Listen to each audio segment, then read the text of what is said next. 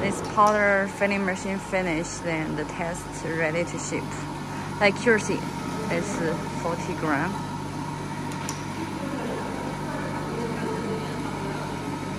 Forty gram.